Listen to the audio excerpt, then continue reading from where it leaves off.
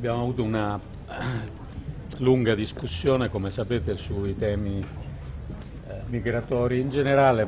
Penso che si sia comunque trattato di un passo avanti, un passo avanti soprattutto su quella che qui viene definita la dimensione esterna, cioè la, il rapporto tra flussi migratori che, vengono, che attraversano il Mediterraneo e l'azione dell'Unione Europea.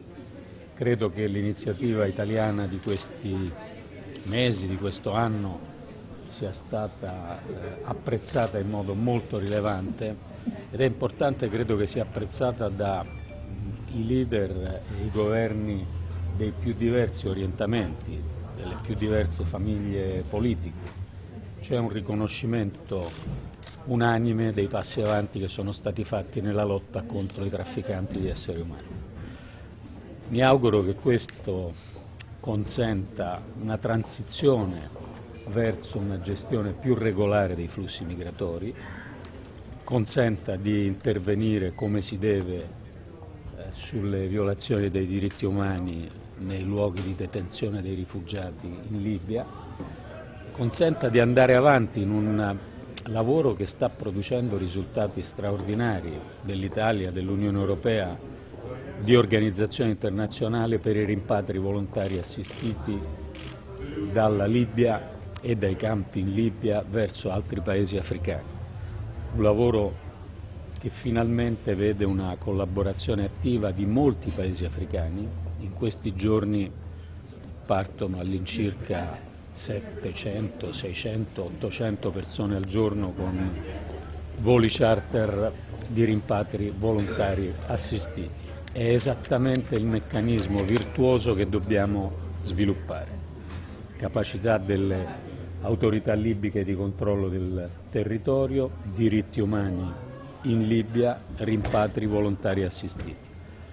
C'è uno scoglio nella nostra discussione che è quella che qui si definisce la dimensione interna, e cioè diciamo, le regole di Dublino, i confini tra, interni tra i paesi europei. Su questo, come sapete, non siamo riusciti in questa lunga riunione a superare le resistenze che restano eh, dei paesi eh, del gruppo di Visegrad che rifiutano la decisione che pure è stata presa di obbligatorietà delle quote. La mia speranza è che i successi nella lotta al traffico di esseri umani e quindi la riduzione dei flussi irregolari renda eh, il clima sulla discussione delle regole interne più semplice, perché è chiaro che se non hai una pressione di centinaia di migliaia eh, di migranti irregolare e ingovernata, è forse più facile convincere quelli che pensano di risolvere tutto con i muri che bisogna collaborare con le relocation tra paese e paese. Non ci siamo ancora sinceramente, quindi è un lavoro che deve proseguire e, e che non possiamo tradurre in un avallo alla posizione di chi dice eh, non applichiamo le regole europee. Questo è stato molto chiaro ieri nella riunione che aperture a considerare un optional le regole europee sulle relocation di migranti non sono aperture condivise dall'Unione Europea. Eh, Presidente, ma sareste anche pronti ad andare ehm, al voto in Consiglio ad approvare la riforma con una maggioranza qualificata in caso? Ma io credo che l'obiettivo deve essere un obiettivo di raggiungere un consenso, perché purtroppo è proprio la vicenda delle relocation che ci dimostra eh, che non sempre le decisioni prese senza consenso poi vengono rispettate.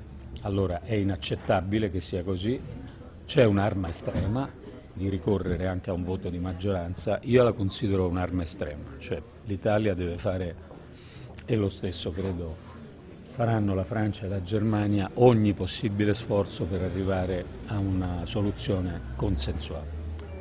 E bisogna provare a farlo entro quest'anno, facendo un passo avanti a giugno e poi arrivando a concludere con nuove regole entro la fine dell'anno. Presidente, su Brexit, lei come ha accolto il discorso di Theresa May? Pare che avete fatto l'applauso? ed è possibile dare, eh, fare un, un, un rapporto eh, dopo l'uscita dall'Inghilterra come chiede l'Inghilterra, Ma- le banche eccetera? Noi avremo una discussione su questo eh, metà mattinata, quindi forse nella conferenza stampa che faremo a fine lavori avremo mo- modo di parlarne meglio. Eh, La prima ministra May, che naturalmente non parteciperà oggi, invece è intervenuta ieri eh, rivendicando la eh, linea con la quale siamo riusciti ad arrivare all'intesa con la Commissione qualche giorno fa e, e- e noi abbiamo accolto con grande cortesia la sua disponibilità, però siamo consapevoli che la seconda fase non sarà più facile della prima. Vi Grazie, tranquillizzati sulle parole di Davis e sul voto di Westminster? ma ne parliamo più tardi. Grazie.